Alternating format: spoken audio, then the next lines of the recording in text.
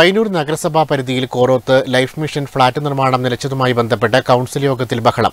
A. Rupesh ഉന്നയിച്ച ചോദ്യവും ചെയർപേഴ്സന്റെ മറുപടിക്കും ശേഷമാണ് ബഹളം ആരംഭിച്ചത്. ഡിസംബർ പതിനഞ്ചിനകം ഫ്ളാറ്റ് നിർമ്മാണം പുനരാരംഭിക്കുമെന്ന് ചെയർപേഴ്സൺ കെ വി ലളിത കൗൺസിലിനെ അറിയിച്ചു.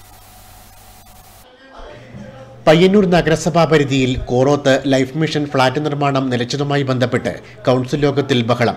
ഫ്ളാറ്റ് നിർമ്മാണ കാര്യത്തിൽ ബന്ധപ്പെട്ടവർക്ക് ഒരു താൽപ്പര്യവുമില്ലെന്നും ഇക്കാര്യത്തിൽ നഗരസഭ എന്ത് നടപടിയാണ് സ്വീകരിച്ചതെന്ന് വിശദീകരിക്കണം എന്നാവശ്യപ്പെട്ടും. യോഗം തുടങ്ങിയ ഘട്ടത്തിൽ കോൺഗ്രസ് കൗൺസിലർ എ രൂപേഷ് ചോദ്യമുന്നയിച്ചിരുന്നു ചോദ്യത്തിന് ശേഷം നഗരസഭാ ചെയർമാൻ കെ വി ലളിത മറുപടിയും നൽകി.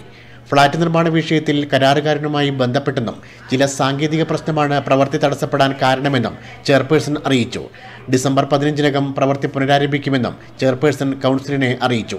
ഇതിനുശേഷം Congress councillor Maniyarachandran life mission സംബന്ധിച്ച് കൂടുതൽ ചോദ്യങ്ങൾ ഉന്നയിക്കുകയായിരുന്നു.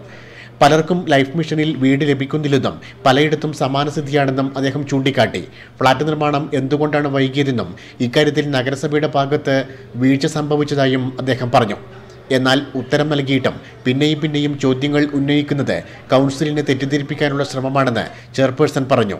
തുടർന്നും വഴങ്ങാതിരുന്ന മണിയറചന്ദ്രനെതിരെ വിമർശനവുമായി നഗരസഭാ vice chairman P V Kunhappan standing committee chairman P V Balan ഉൾപ്പെടെയുള്ളവർ രംഗത്തെത്തി. തുടർന്നാണ് കൗൺസിൽ ബഹളത്തിൽ കലാശിച്ചത്. ഫ്ളാറ്റ് നിർമ്മാണം നഗരസഭയുടെ ഫണ്ട് ഉപയോഗിച്ചല്ലെന്ന് പി വി കുഞ്ഞപ്പൻ മണിയറചന്ദ്രനെ ഓർമ്മിപ്പിച്ചു. പിന്നീട് അജണ്ടയിലേക്ക് കടന്നതോടെയാണ് ബഹളത്തിന് ശമനമായത്. നാരങ്ങാത്തോടിന്റെ നവീകരണം സംബന്ധിച്ച് കൗൺസിലർ എ ബഷീർ ഹർസീന കാട്ടൂർ എന്നിവർ നഗരസഭാ ഹെൽത്ത് ഇൻസ്പെക്ടറുമായി തർക്കിക്കുകയും ചെയ്തു. Network news Payyanur.